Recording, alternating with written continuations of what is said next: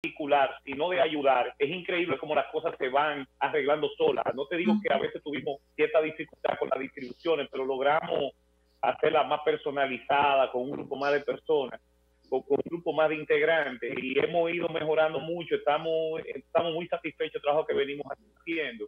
Y es increíble como cuando un grupo de personas con voluntad de ayudar se unen, las cosas se van arreglando solas. Hay un grupo, podemos tener nuestras contradicciones algunos, pero nunca entre nosotros. Nosotros lo que tenemos el mismo fin, que es tratar de, mantener mayor cantidad de personas en su casa y de que se y de que se mejore, por lo menos se ayude a muchas personas a tener sustento de su familia. Sí, eh, vamos a ver si, si, Juan está conectado. Eh, ¿Nos escucha Juan? Porque eh, hemos estado haciendo el intento, pero no, no, no se ha podido conectar. Pero bueno, no sé si Ivanov o Moisés me pueden responder. Hasta ahora, ¿cuánto ustedes han recolectado en efectivo y cuánto en, en, en términos cuantitativos eh, han recibido insumos, o sea... Eh, eh, en especies. No sé si me escuchan la pregunta, Iván. Sí, escuché. Sí. sí. Estoy dando la oportunidad a Moisés, o si él quiere, yo la puedo responder. Cualquiera, cualquiera de los los datos no van a ser tan exactos porque lo que Exacto, exact, exactamente, exactamente. Mira, darle un estimado, Iván, de cuánto yo, yo, entiendo que hemos sobrepasado los, exactamente. Mira, para, para, para hacer, no, mucho más. Para hacer un cálculo matemático fácil, nosotros hemos repartido más de 6.000 raciones. Cada ración de ese está valorada en 1.150 pesos. Eh, estamos hablando de, de, sobre los 7 millones de pesos. En efectivo han se han recolectado allá cerca de 2 millones de pesos y lo demás ha llegado en ayuda alimentaria y suplementos de prevención para la pandemia.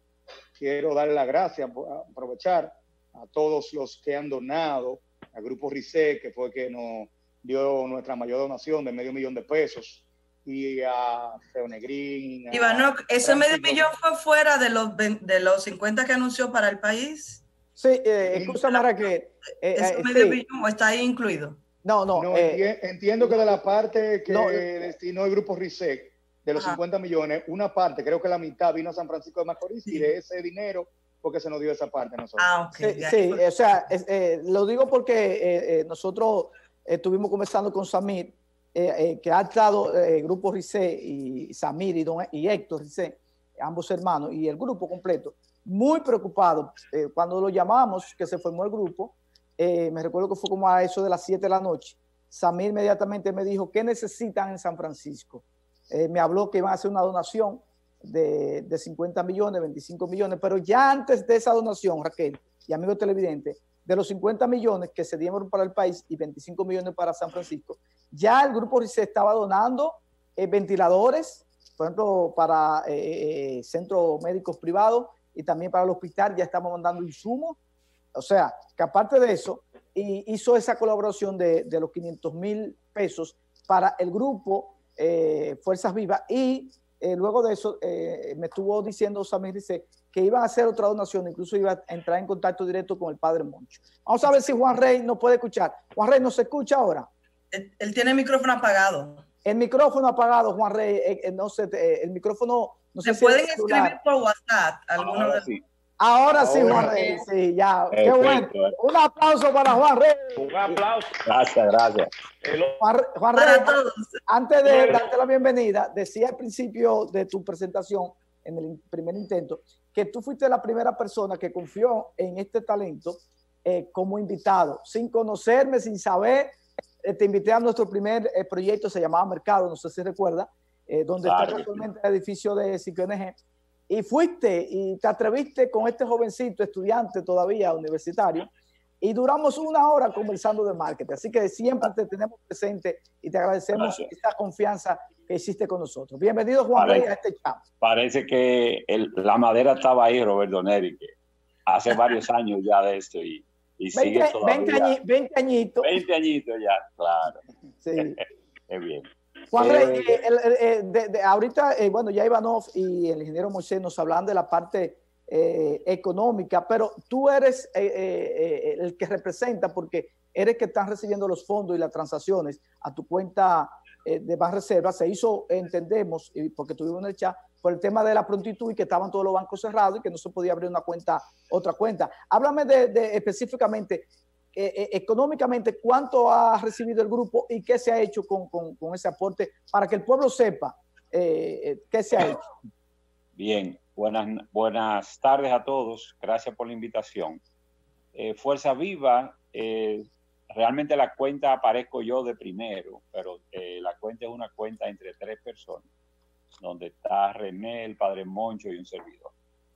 Nosotros hemos recibido por la cuenta de Banreserva aproximadamente 2.800.000 pesos al día de hoy, con unos numeritos más, 2.800.000 y algo más. Eh, y en efectivo, eh, unos 430.000 aproximadamente, en total unos 3.200.000. Eso se ha usado principalmente para comprar insumos que nos hacen falta. ¿Qué quiere decir? Por ejemplo, hoy se iba a hacer una compra de arroz porque se, agotó el arroz que había disponible para la entrega de hoy, pero ahí mismo entró entonces una donación de arroz y entonces pues no, nos aguantamos. Pero en cambio se compra una pica pica que se le echa, dos latas de pica pica cada ración y vamos supliendo lo que nosotros hemos denominado un kit mínimo. ¿Qué quiere decir esto? Lo mínimo que necesita una familia de cuatro miembros para subsistir por tres o cuatro días. Ese kit consta de arroz, habichuela, azúcar, avena, pica pica, aceite, salsa de tomate y se me queda uno. Bien. Azúcar. Leche, avena. Leche, eh, la leche cuando la tenemos, porque la leche es un insumo bastante costoso, pero tratamos de dejarlo para los sitios donde hay niños pequeños para que pueda llegar.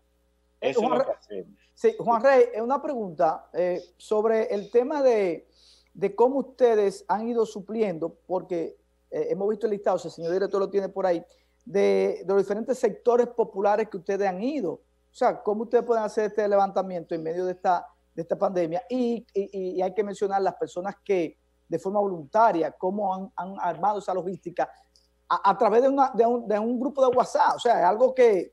Eh, mira, mira. Ojalá, ojalá, escúcheme Juan, ojalá los empresarios, el pueblo, se organicen por WhatsApp como ustedes se han estado organizados.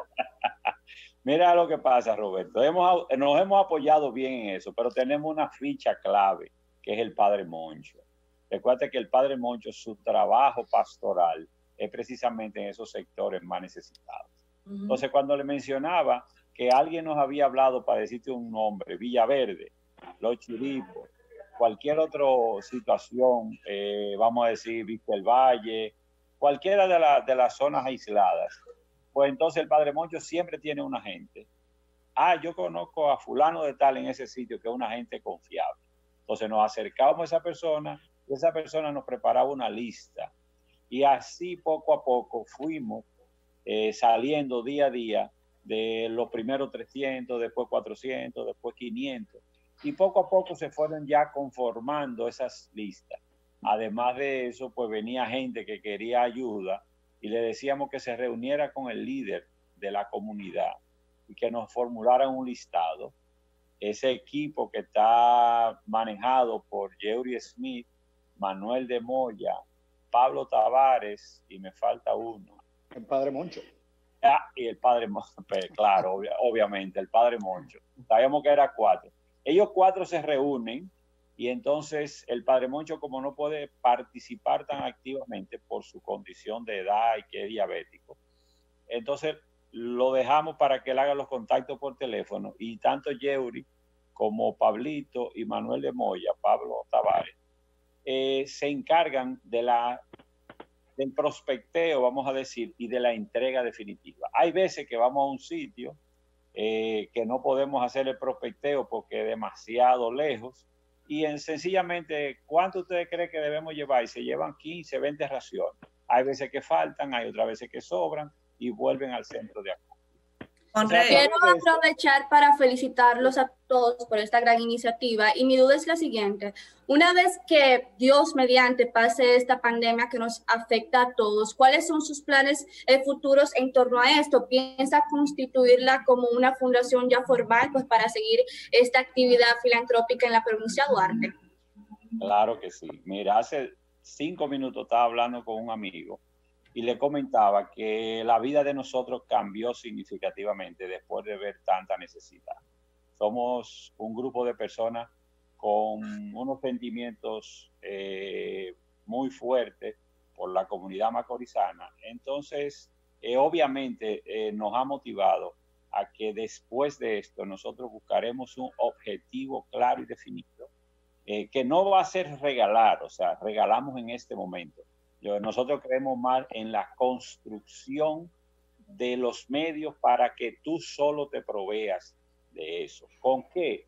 Con ayuda a entrenamiento, ayuda a enseñanza, ayuda a aprender una labor o aprender a desarrollar un esfuerzo que te encamine a mejorar tu vida de manera individual. No a esperar la caridad de un grupo de gente. Y creo que sí, que ya está inclusive hablado entre todo el grupo que la motivación quedó pendiente y que Fuerza Viva eh, comenzamos de la provincia de Duarte, pero al final vamos a terminar Fuerza Viva de Duarte en honor a nuestro gran patricio. Y creo que sí, que Fuerza Viva de Duarte será eh, un ente con un peso específico que ayudará a mejorar y a paliar la crisis eh, de la situación que se vive realmente o sea que van a dejar de dar el pescado y van a enseñar a pescar. Enhorabuena, eso es, fabuloso, sobre todo porque en esta circunstancia de desgracia sanitaria mundial, pues eh, las fibras de la solidaridad y el amor se han puesto a flor de pie y eso es muy bueno del ser humano. Eh, volviendo a la distribución de las raciones, hablaba ahorita Ivano que alrededor de 6 mil raciones se han distribuido en lo que va de toda esta pandemia. Eh, ¿Ustedes repiten, vuelven a las mismas zonas o solo van una vez a llevar una ayuda? Veo que están yendo también a otros municipios de la provincia. ¿Cuál es el protocolo en ese sentido? Realmente sí vamos a repetir, ya estamos repitiendo. Ya desde ayer se comenzó a repetir en las primeras, en los primeros sitios que ya se regaron, porque hace dos semanas y algo comenzamos. Y aunque sabemos que no podemos de ninguna manera suministrar todo lo que esa gente necesita, pero por lo menos le damos un poquito de ayuda y mitigamos un poquito la necesidad presente. Entonces sí, ya nosotros comenzamos a repetir en esta semana eh, esos sitios donde fuimos inicialmente y algunos de esos sitios que fuimos, que no llevamos suficiente cantidad, también estamos haciéndolo un poquito más complejo.